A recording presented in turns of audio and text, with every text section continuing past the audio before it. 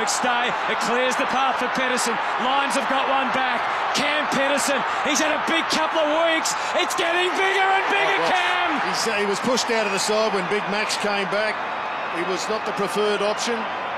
Despite the fact that he had brilliant form, he didn't suck. He just uh, kept on working back uh, in the VFL.